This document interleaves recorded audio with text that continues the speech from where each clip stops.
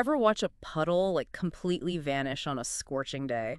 Or noticed how your coffee cup seems to empty itself overnight? Happens to the best of us. It's easy to overlook evaporation, but today's deep dive is going to reveal it's a total physics fiesta happening at the molecular level. That's right. And guiding us through this is the one and only Feynman with his legendary lectures.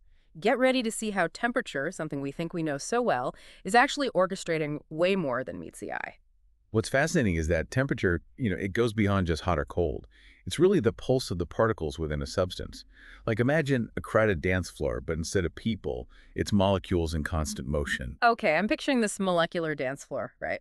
And Feynman, he describes these molecules as being stuck in a sort of escape room, bound by attractive forces.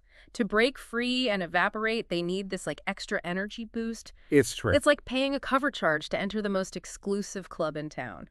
That's a great analogy. And guess what dictates how easy it is to pay that cover charge?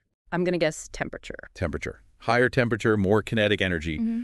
These molecules are bouncing around with more vigor, increasing their chances of transferring enough energy for one lucky molecule to break free and evaporate. So the hotter it is, the wilder the dance party and the more molecules escape. Exactly. Okay. Now, Feynman being Feynman, he lays down this mind-blowing equation, and bear with me, just a touch of math here. Okay. The rate of evaporation is proportional to E to the power of negative W over KT. Whoa.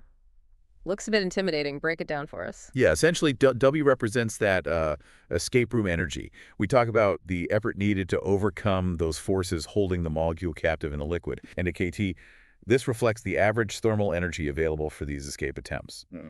The equation, while a tad complex, tells us that even tiny changes in temperature can have a huge T effect on how readily things transform. Yeah. And it's not just water turning into vapor, but in countless other processes. Okay, so tiny temperature tweaks, big changes. Starting to see why this matters. But it's not just puddles, right? Absolutely not. This E to, to the negative energy over KT pattern, it's like physics' greatest hits collection. Oh. It pops up everywhere. Take electrons escaping metal, like in those old school vacuum tubes. Okay, vintage tech connection. I'm intrigued. Tell me more. It's called thermionic emission.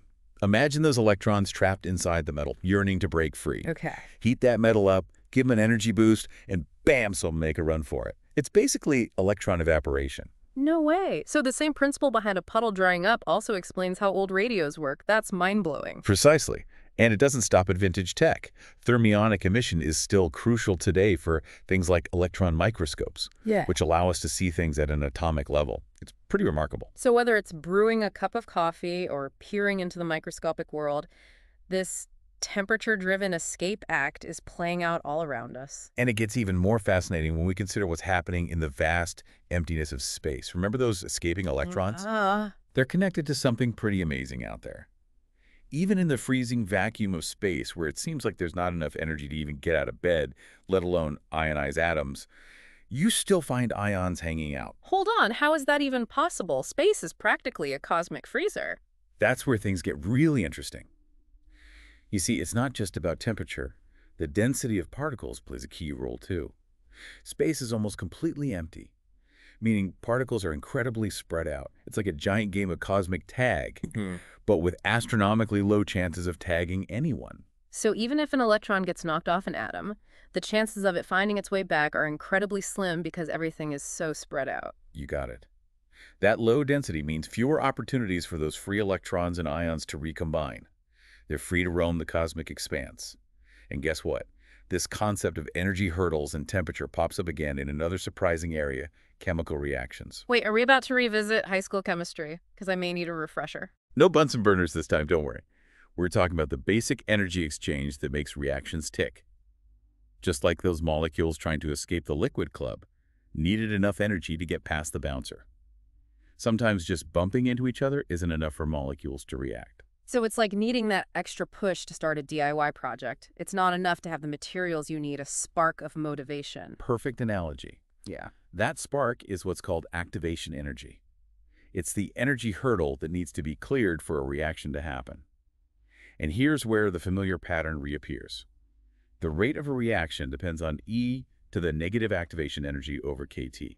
So higher temperature translates to more molecular collisions with enough energy to clear that hurdle, leading to faster reactions. That's why food cooks faster at higher temperatures, or if you're not careful, explodes in the microwave. Exactly. But here's another layer. Catalysts can make this whole process more efficient. They're like that friend who helps you tackle that DIY project, lowering the activation energy without changing the end result. They make it easier for the reaction to happen, but don't alter the final product. It's fascinating how catalysts work behind the scenes. Indeed. Catalysts are essential for countless industrial processes, from creating fertilizers to producing fuels. But now let's switch gears from chemical reactions to something even more mind-boggling. Remember how we talked about Planck and his discovery that energy levels in matter are quantized, meaning energy comes in discrete packets? Yeah, like those old school arcade tokens instead of a bottomless credit card. Well, Einstein used Planck's formula to unlock a revolutionary understanding of light. He realized that light isn't just a continuous wave as previously thought. It also behaves as if it's made up of individual particles of energy, which we call photons. Wait, so light is both a wave and a particle. My brain just did a loop-de-loop. That's the beauty and mystery of quantum mechanics. Yeah. It's mind-bending, but it's fundamental to our understanding of the universe. Mm. And here's where it gets even more exciting. Einstein's work on light ultimately led to the prediction and invention of lasers. Lasers. Are we talking science fiction pew-pew-pew here? Well, yes and no.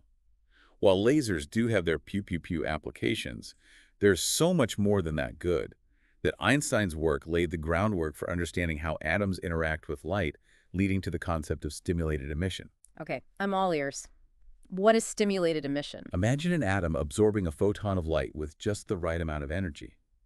This causes the atom to jump to a higher energy level, but it doesn't stay there forever. Eventually, it wants to return to its lower energy state. When it does, it releases that energy as a photon of light, which is called spontaneous emission. So it's like those glow-in-the-dark toys. They absorb energy and release it as light later. You're on the right track. But here's the fascinating part. If a photon with the right energy hits an atom that's already excited, it can stimulate that atom to release its stored energy as a photon that's perfectly in sync with the incoming photon. So it's like a perfectly synchronized photon dance party. Precisely. And if we can get enough atoms to do this synchronized release, we get a laser, a focused beam of light with all its photons vibrating in unison. That's incredible. So lasers are basically synchronized bursts of atomic energy. You could say that. Yeah. And the applications go far beyond just pew pew pew. Although, as I said, that is pretty cool. We're talking barcode scanners, DVD players, fiber optic communication, even the potential for future fusion power. Wow. From puddle evaporation to space ions to lasers, who knew temperature played such a central role in all of this? It's all connected, and it gets even more mind-blowing when we consider how we can use our understanding of these processes to manipulate temperature itself. So we've seen how temperature can drive these just like incredible processes, from molecules escaping a puddle to atoms releasing these synchronized photons in a laser. Right. But here's a thought. Okay. Can we flip the script? Can we hack these processes to control temperature itself? Now that's a question that takes us to the cutting edge of material science and thermodynamics. Okay. Just as heat can drive certain processes, some processes can actually absorb heat, Uh-huh. leading to some very chilly results. So kind of like the opposite of those hand warmer packets that use exothermic reactions to heat up. Yeah. We're talking endothermic reactions that suck the heat out of their surroundings. You got it. One area where this principle is being explored is thermoelectric cooling. Mm-hmm. Certain materials, when you run an electrical current through them, exhibit a temperature difference across their surfaces. Mhm. One side gets hot, the other gets cold. Wait a minute. Are you saying we can pump heat around with electricity? Like a heat pump, but potentially way more efficient and without all those moving parts? Precisely. Thermoelectric cooling is already used in some specialized applications, like cooling computer chips and even in portable refrigerators. It's amazing to think about how our understanding of temperature has evolved. From harnessing the power of steam engines to developing sophisticated electronics, it's shaped so much of human history and technology. And with these advancements like thermoelectric cooling, we're on the verge of even more innovative applications that could completely change how we control and manipulate heat. It really speaks to the power of curiosity and the endless wonders that physics continues to reveal. From a simple puddle to the vastness of space, and even to the potential of future technology, who knew the concept of temperature could be so fascinating. The more we delve into this seemingly simple concept, the more we uncover its profound influence on the universe and our place in it. It's a journey of discovery that never really ends. Feynman would be so excited. Thanks for joining us on this deep dive. And remember, sometimes the most everyday phenomena can lead to the most mind-blowing discoveries. Until next time, keep those brains curious.